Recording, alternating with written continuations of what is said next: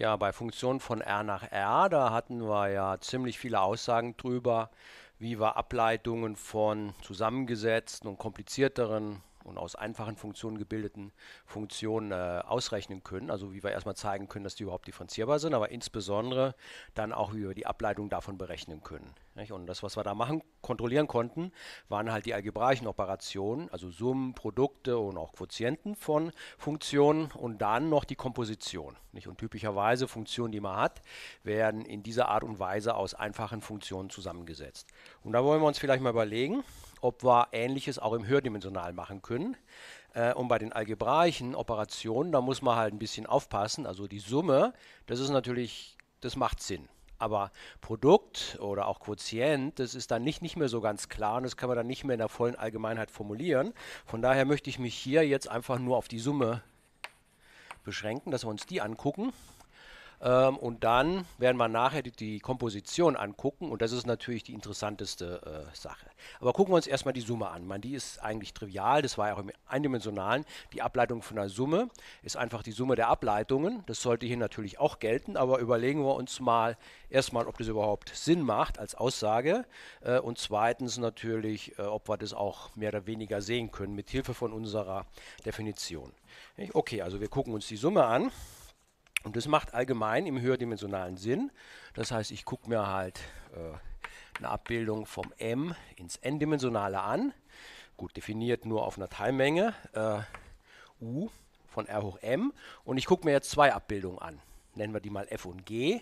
Also ich habe ein F, das ist auf U definiert, geht nach R hoch M. Und ich habe eine andere Funktion G, die ist auf der gleichen Menge definiert und geht auch ins ins n-dimensionale gehe ich. Ich gehe von m nach n, das hier ist n, und die zweite Funktion geht auch dahin. Ja, also die Bilder müssen natürlich in den gleichen Raum gehen, damit ich sie addieren kann.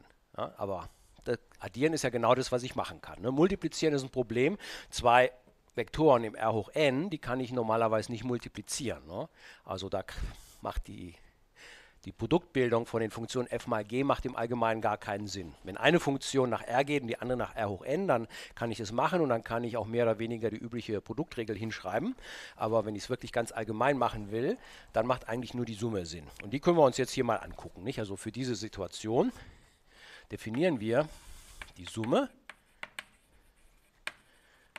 die Summenfunktion, also f plus g ist jetzt eine neue Funktion, die ist natürlich auch auf u definiert, geht in den R hoch n und wie ist die gegeben? Natürlich dadurch, dass ich einen Vektor x abbilde auf f plus g an der Stelle x und das definiere ich natürlich einfach so, wie wir das üblicherweise auch bei Funktionen in R gemacht haben, dass ich einfach das f von x nehme und da addiere ich das g von x dazu. Nicht? Also die Definition ist halt punktweise. Nicht? Für jedes Argument werte ich die Funktion aus und mache genau dann die Operation, die ich halt machen will. Ja, und hier, wenn ich in den R hoch n gehe, die einzige Operation, die ich allgemein machen kann, ist halt die Vektoraddition. Gut, ich kann es noch mit dem Skalaren multiplizieren. Das will ich jetzt hier mal weglassen. Können wir hier auch machen, dass ich hier noch mit Alpha und Beta multipliziere, aber das, das lassen wir mal. Äh, und ja, also multiplizieren kann ich dann hier im Allgemeinen zum Beispiel nicht, nicht? weil ich lande hier im R hoch n und dann bräuchte ich im R hoch n eine Multiplikation. Gut, die habe ich nicht im Allgemeinen, von daher äh, geht es nicht. Aber die Addition ist natürlich kein Problem, die kann ich so definieren. Und jetzt sollte es natürlich so sein, äh, dass wenn jetzt f und g beide differenzierbar sind, dann sollte auch die Summe differenzierbar sein und die Ableitung von der Summe sollte die Summe der Ableitung sein. Aber gucken wir uns das mal an mit Hilfe von unserer Definition, ob das wirklich so ist und ob wir das auch wirklich äh, sehen. Also die Aussage ist, also wenn f und g beide differenzierbar sind und wir gucken uns jetzt nur einen Punkt an, weil für die Summe sollte es ja dann auch an dem Punkt gelten. Also wenn ich annehme f und g sind im Punkt x, der natürlich im Definitionsbereich liegen soll, da sind die differenzierbar, dann behaupte ich, ist auch die Summe differenzierbar. Und das wollen wir uns jetzt überlegen, warum das der Fall ist. Also was müssen wir machen? Äh, wenn ich zeigen will, f plus g ist differenzierbar, ich muss eine lineare Approximation dafür finden. Na, das heißt, nach der Definition muss ich mir die Funktion f plus g jetzt angucken. Äh, in der Umgebung von dem Punkt x. Das heißt, zu x addiere ich irgendwas dazu ja, und muss gucken, dass das jetzt die Funktion an der Stelle x plus ein linearer Anteil ist. Plus noch irgendwas, was gegen 0 geht. Schneller als linear. Ja, gut, aber schreiben wir uns mal hin, was es ist. Also f plus g an irgendeiner Stelle ist ja nach Definition f an dieser Stelle plus g an dieser Stelle. Gut, für f und g habe ich jetzt natürlich diese linearen Entwicklungen um den Punkt äh, x. Das heißt, das f, von dem weiß ich, weil es differenzierbar ist an der Stelle x, das kann ich schreiben als f von x plus äh, die Ableitung. Also es gibt diese Ableitung, die nennen wir ja dann äh, d von f oder df, angewandt auf den Punkt c. Und dann habe ich halt noch irgendwas, das nenne ich jetzt mal R1, von Xi, das halt schneller als die Länge von Xi gegen 0 geht. Nicht? Also das geht noch gegen 0, selbst wenn ich es durch die Länge von Xi äh, dividiere. Ne? Das heißt halt, dieses, dieses Ding geht gegen 0, aber schneller als dieser Term. Die, das linear gegen 0 gehen, das steckt in diesem Term hier drin. Gut, das habe ich für das f und für das g habe ich natürlich das gleiche. Ja, wobei hier halt die Ableitung von g auftaucht, angewandt auf den Vektor Xi und ich habe noch einen Rest, den nenne ich jetzt R2 äh, der halt auch gegen 0 geht. Ja, und jetzt kann ich das natürlich hier zusammenfassen. Also was ich jetzt hier habe, ist natürlich fx plus gx und das ist ja nichts anderes als f plus g an der Stelle x.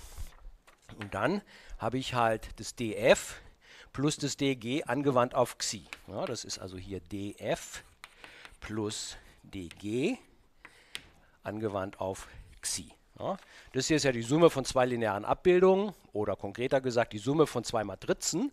Ja, die Summe von zwei Matrizen, wenn ich die auf den Vektor wirken lasse, ist natürlich nichts anderes als die Wirkung von der ersten Matrix auf den Vektor plus äh, die Wirkung der zweiten Matrix auf den Vektor. Gut, dann habe ich das hier und dann habe ich natürlich noch diese Terme, äh, diese, ja, diese Korrekturterme R1 von Xi plus R2 von Xi jeder von denen geht schneller als linear gegen 0 und natürlich damit geht die Summe, die ich dann zum Beispiel r von Xi nennen könnte, ne, die geht halt auch äh, schneller gegen 0. Ja, und damit habe ich genau das, was ich brauche. Ich habe nämlich f plus g. Um den Punkt x habe ich geschrieben, äh, hier oben, f plus g in der Nähe von dem Punkt x habe ich geschrieben als den Wert an der Stelle x plus was Lineares angewandt auf das Xi hier. Und dann noch ein Rest, der hinreichend schnell gegen 0 geht. Ja, und wenn ich das so schreiben kann, dann heißt es, dass das Ding differenzierbar ist und die Ableitung ist genau der lineare Operator, der hier steht. Ja, gut, also damit haben wir also gesehen, dass das f plus g in x differenzierbar ist. Und wir haben aber auch die Ableitung identifiziert, weil wir haben ja gesehen, die Ableitung ist ja das lineare Objekt, das hier steht. Also die Ableitung von f plus g ist genau das, was da steht. Und das ist ja nichts anderes als df plus dg. Ja, und damit habe ich also wie im eindimensionalen äh, die Aussage, dass äh, die Summe oder dass die Ableitung von der Summe ist die Summe der Ableitungen. Nur die Ableitungen sind jetzt nicht einfach nur Zahlen, äh, sondern das sind Matrizen und die Summe ist zu verstehen als die Summe von zwei Matrizen. Aber das ist ja okay. Das sind ja Matrizen von der gleichen Größe, ne? weil die Funktionen gehen ja vom gleichen m nach n. Nicht? Also beides sind äh, n mal m Matrizen. Die kann ich natürlich äh, addieren. Gut, das zeigt also, dass zumindest von der linearen Struktur her alles genauso ist wie im eindimensionalen. Von der multiplikativen Struktur her ist es ein bisschen komplizierter oder es gibt nicht so allgemeine Aussagen, was aber im Wesentlichen daran liegt, dass wir die Funktionen eigentlich im Allgemeinen nicht miteinander multiplizieren können. Nicht? Also es ist nicht so, dass, dass wir das Produkt haben, aber die Aussagen über die Ableitung werden komplizierter, sondern es ist halt so, dass man halt die, die Multiplikation von Funktionen im Hochdimensionalen nicht allgemein formulieren kann.